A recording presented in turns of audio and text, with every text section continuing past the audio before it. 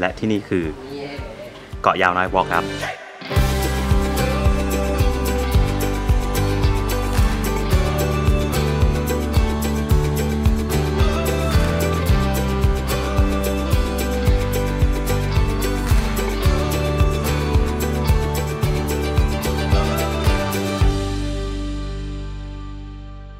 สวัสดีครับผมนะฮะขอต้อนรับสู่รายการโกเวนโกนะครับ วันนี้ครับเราจะไปกันที่เกาะยาว ซึ่งเดี๋ยววันนี้นะครับเราจะไปพักกันที่โรงแรมที่ชื่อว่า Paradise อยู่ที่เกาะยาว นั่นแหละแต่ว่าเราจะไปยาวน้อยซึ่งยาวน้อยจริงรีสอร์ทเยอะมากแต่ว่าโซนเราไปอยู่เนี่ยจะมีรีสอร์ทอยู่แค่ไม่กี่ที่สองที่ตรงนี้มันจะค่อนข้าง p r i v a t นิดนึงนะครับ เพราะฉะนั้นเราจะพาไปดูกันครับเกาะยาวจังหวัดพังงาครับ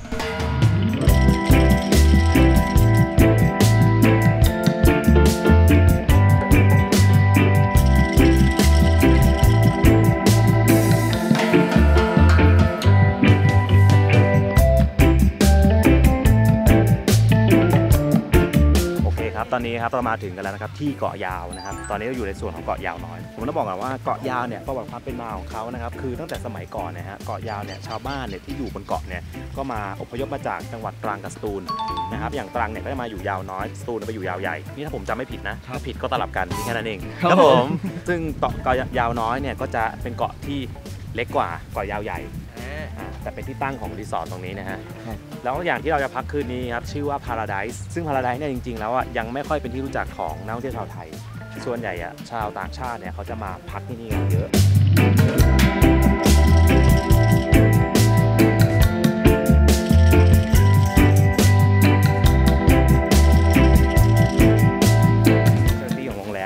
มเนี่ยครับก็จะมีสระว่ายน้ำครับมีบาร์สองบาร์มีห้องอาหารสองห้อง ก็จะมีห้องที่เป็นซีฟู้ดเป็นอาหารอิตาเลียน แต่ว่าห้องซีฟู้ดเนี่ยเปิดตลอดครับนะแต่ว่าห้องอิตาเลียนเนี่ยเปิดแค่ตอนเย็นนะครับส่วนบาร์เนี่ยก็มี beach bar นะครับแล้วก็มีบาร์ตรงนู้นซึ่งสองสองโรงแรมเนี่ยนะครับไอ้ Paradise เกาะยาวเนี่ยกับทรีฮาวิลล่าเนี่ยเป็นเครือเดียวกันอยู่ติดกันแล้วมันอยู่ส่วนเหนือสุด ซึ่งมีแค่2รีสอร์ทเท่านั้นครับสงบมากแล้วคุณแบบ feel เหมือนอยู่เกาะส่วนตัวจริง เออถ้าแบบใครชอบสไตล์ luxury เนี่ยก็จะเป็นที่ TreeHouse Villas แต่ว่าฝั่งเนี้ยจะเป็นสไตล์แบบ ecoแบบธรรมชาติอะไรอย่างเงี้ยมีนกร้องกุ๊กกุ๊กกุ๊กอะไรอย่างเงี้ยเออ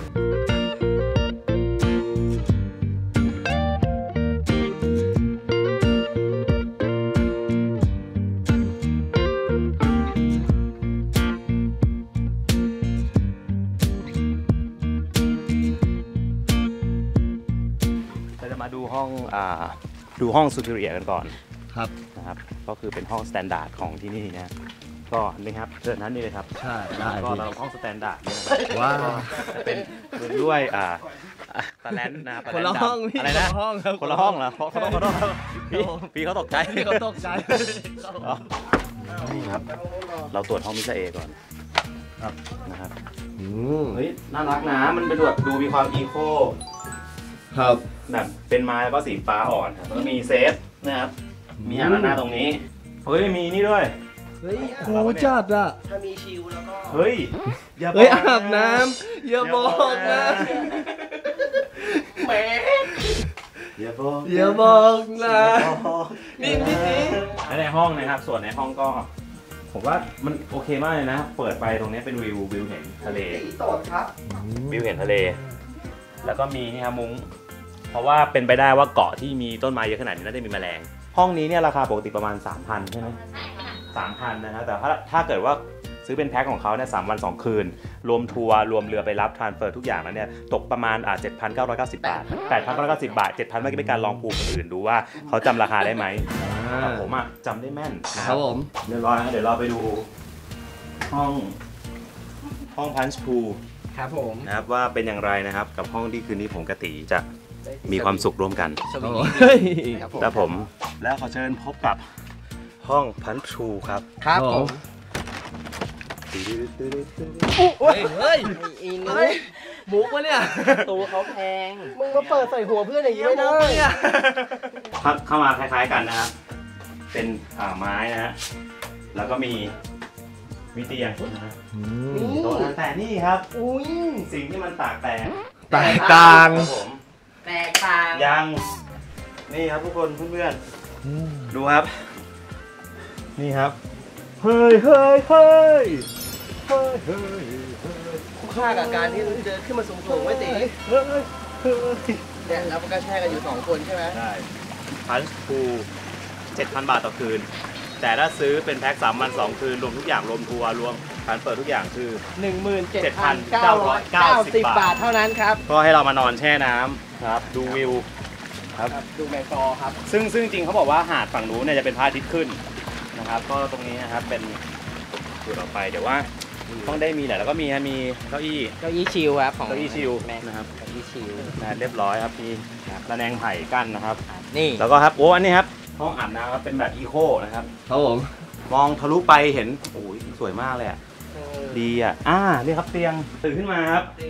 รับแสงอาทิตย์ขึ้นนะครับ ยามเช้า อ่าเขาเรียกว่าหรือภาษาอังกฤษที่เขาใช้คำว่า security morning อ่า ยามเช้า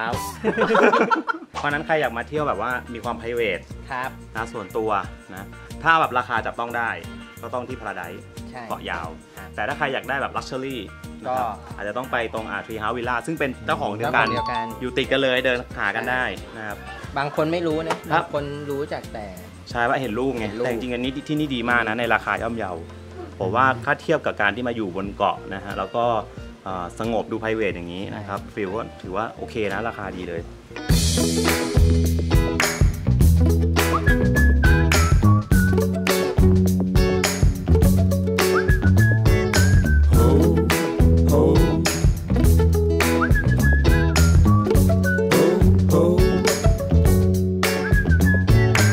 ครับนอกจากจะมีบ่อพูในห้องนะครับคุณนี่ครับ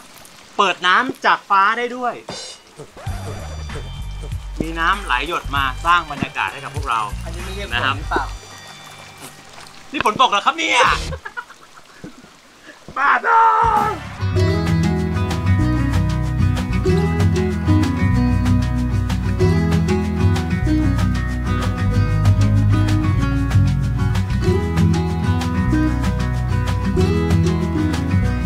ว่าตอนไอ้เมื่อกี้เช่วงเย็นๆอะนกเงือกแบบเยอะมาก เยอะแบบ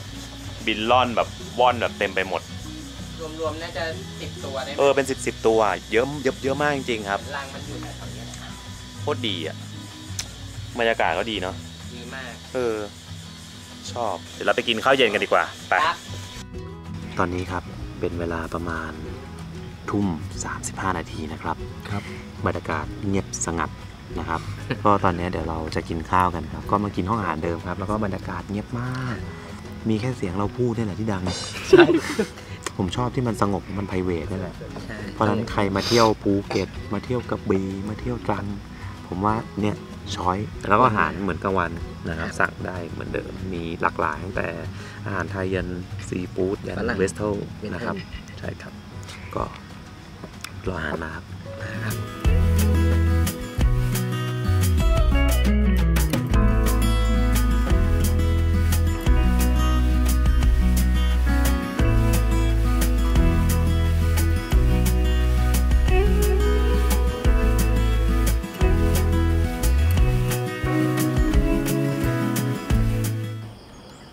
สวัสดิ์ครับทุกคน ตอนนี้เป็นเวลาโมงเช้า นี่คือแสงอาทิตย์ ที่อัสดงสวยงามตระการตาที่สุด สวยจริงนี่แห่งเกาะยาวนั่นแหละครับ ต้องถ่ายรูปไปซะหน่อย เพื่อเป็นที่ระลึกครับครับผม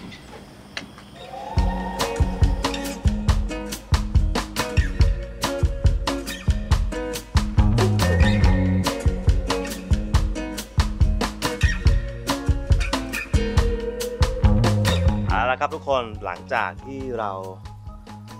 ตื่นเช้าครับถ่ายรูปนะพระอาทิตย์ขึ้นฝั่งนี้นะ ฝั่งหน้าที่พักเลยนะครับ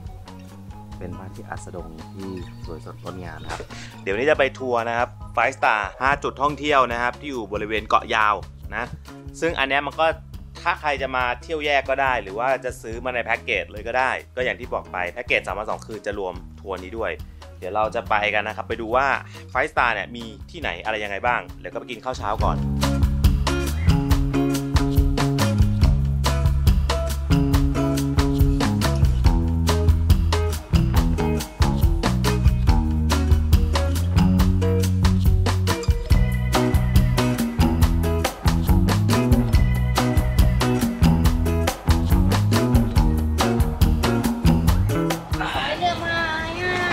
เขาแล้ว เขาไม่มีลงน้ำเขาไม่ให้ลงน้ำเหรอ เพราะว่ามันมันแค่แป๊บเดียวแหวกแป๊บเดียวถ้าเกาะถ้าเล่นก็คือมาเล่นตรงนี้ได้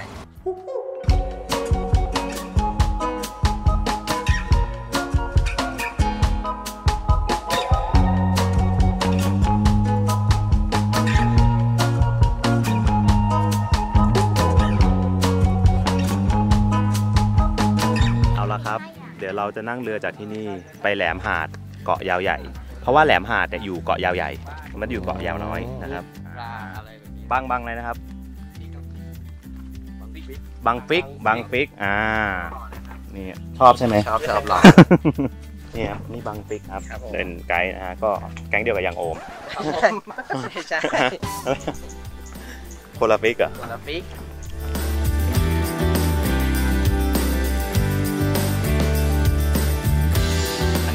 จับอะไรครับเอ่อเป็นกุ้งครับอ๋อกุ้ง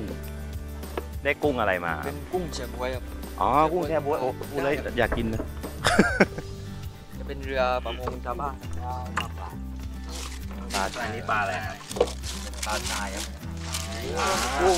เป็นนี่เป็นปลาตายอุ้ยอุ้ยนี่ปลาทรายครับนี่อะไรวันนี้ได้เยอะนี่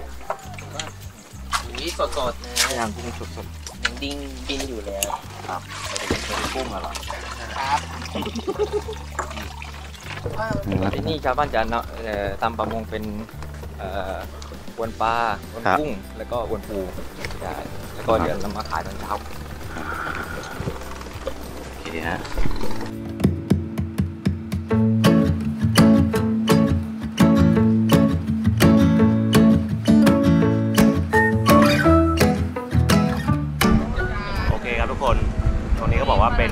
เป็นเมาดีฟเกาะยาวใหญ่นะครับเขาบอกมา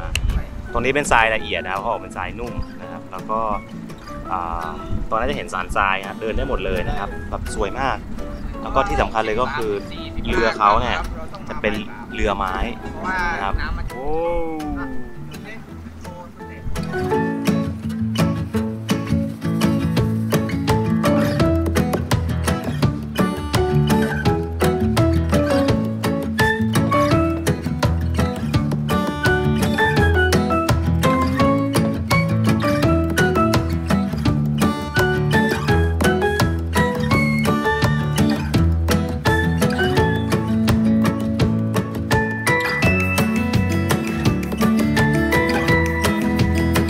วว่าคนที่ค้นพบกฎของแรงโน้มถ่วงคนแรกเนี่ยไม่ใช่เซอร์ไอแซคนิวตันจะเป็นใครครับ ตอนเซอร์ไอแซคนิวตันค้นพบแรงโน้มถ่วงเพราะอะไร แอปเปิลตกใส่ ถูกต้องจริง ๆ แล้วเป็นคนไทย อ้าว ชื่อลุงสมโชคทำไมว่าวันนั้นนั่งอยู่ใต้ต้นมะพร้าวครับผม เนี่ยแล้วก็นั่งคิดทฤษฎีแรงโน้มถ่วงอยู่ อ๋อ และจังหวะนั้นเองครับลูกมะพร้าวหล่นใส่ คุณสมโชคคิดได้ทันทีว่าโลกเรามีแรงโน้มถ่วง เฮ้ย แต่คุณสมโชคคอหัก พอคอหักเสร็จปุ๊บความค้นพบเนี้ยก็เลยไม่ได้ถูก ค้นพบค้นพบออกไปทั่วโลก เลยกลายเป็นฝั่งเซอร์ไอแซคนิวตันก็อยู่ฝั่งยุโรปแทน ครับผมเพราะว่าลูกแอปเปิลตกใส่หัวแค่เจ็บใช่ นะครับแต่ลุงสมโชคมะพร้าวตกใส่หัวครับ คอหักตายครับผมครับ ถูกต้องครับนั่นแหละครับ ไปฮะเดี๋ยวเราไปจุดต่อไปกัน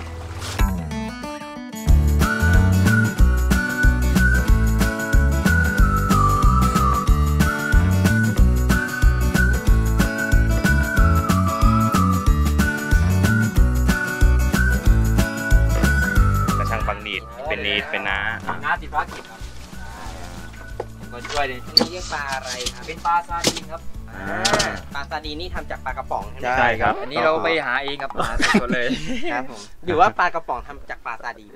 ปลาซาดีนครับผมว่า เคยโดนกระปทืลาบซาเคยโดนกระทืบที่พังงาไหมครับครับเฮ้ยอุ้ยนี่ใครครับอันนี้เป็นปลาช่อนทะเลครับตามธรรมชาติจริงๆเขาจะติดตามฉลามวาฬแต่ว่าเขาไม่ใช่เขาฉลามครับช่อนทะเลเขาจะใช้ลักษณะในการอิงอาศัย ครับ อยู่บริเวณรอบนอกกินปลาเล็กปลาน้อยที่ติดตามฉลามวาหฬน้าตาน่ารักอะ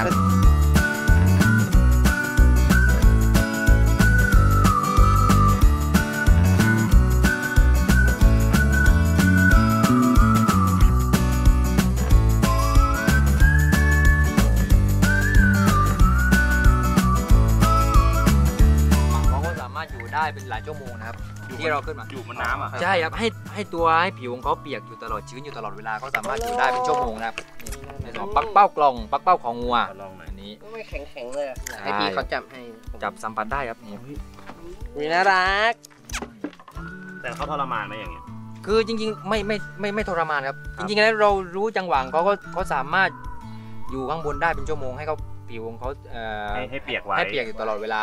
เพราะว่าเราสัมผัสกับเขาอยู่กับเขาทุกวันครับเนี่ยไม่มีปัญหาไม่มีอันตรายใดๆเขาไม่ตายไม่ถึงกับพี่ขั้นกูทบรอกมานเล่นด้วยกันบ่อยใช่ครับเนี่ยดูดูมันวิ่งมาใช่ให้เจอจุ๊บหน่อยถ่ายรูปได้ครับจุ๊บได้นี่อ่าอ่าเมื่อกี้จุ๊บแล้วอ่าเขาทิ้งตายบีนี่นะนบีนบีน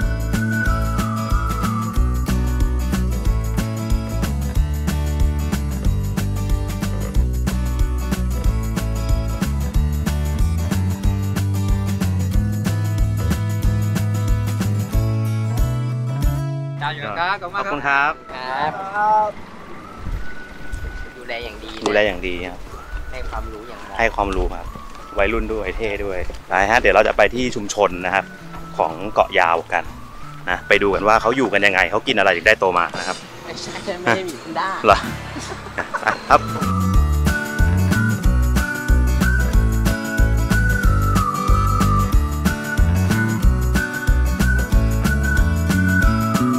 หน้าจะเป็นเซเว่นนะครับ แล้วก็ครับตรงนี้จะเป็นตลาดของคอยาวน้อยอ่าครับผม แล้วก็ตรง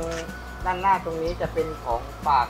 ของคอยาวน้อยเป็นปลาจิ้งจั่งนะครับครับ ที่สามารถดูได้ตรงนี้โอเคครับของพอเสร็จปุ๊บแล้วก็เดี๋ยวมาเจอกันที่นี่ครับ อ่าแล้วไปไหนต่อครับ แล้วเราจะไปในทุ่งนาครับหลังจากนี้อ่าไปทุ่งนาครับครับผมอันนี้เขาไปทอดกระบอกใช่ แต่ว่าพี่สามารถ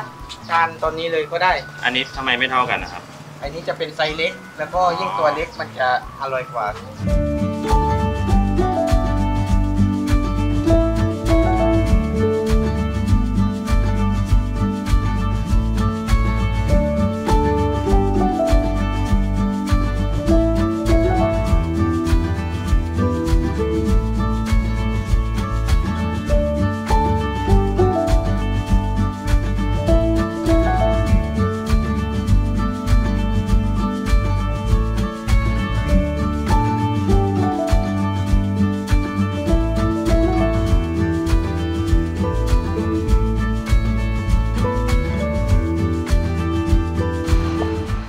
ยบร้อยแล้วนะครับ อันนี้คือท็อปไฟวิวสวยมากสองที่สามที่เนี่ยสวยจริงครับแล้วก็ได้ไปดูเรียนรู้ที่ชุมชน แล้วก็เรื่องปลาด้วยก็ถือว่าครบถ้วน